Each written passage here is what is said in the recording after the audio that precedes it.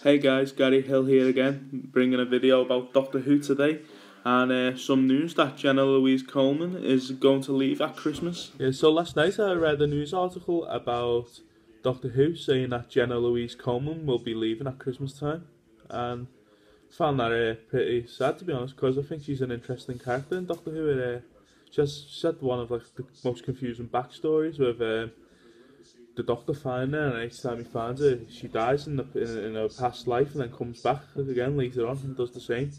So I'm wondering is uh, if she's going at Christmas. I'm wondering if if she dies or. But I think that'd be too predictable, wouldn't it? Because you know we'd we'd all expect that because of what's happened previously in Doctor Who.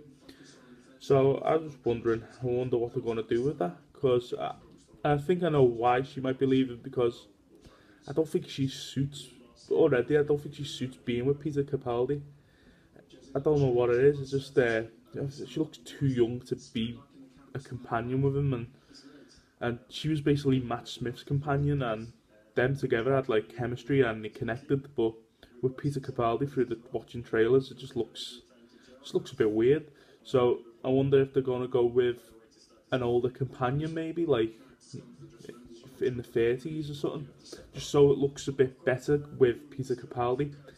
I just um, was just a bit shocking, really, the way she's left there, the way she's going to be leaving. Um, I thought she would stay around for like another two seasons, but obviously she's had enough. Uh, she's obviously had enough, and she probably wants to go on to new things and try and get new roles, but she's all, to me she's going to be go probably put down as one of the most interesting companions for, in my opinion because it's just their backstories like still a lot of unanswered questions and being honest and I can't wait to find out to be honest about about her uh, so I think this series is going to be an important important story featuring Clara really.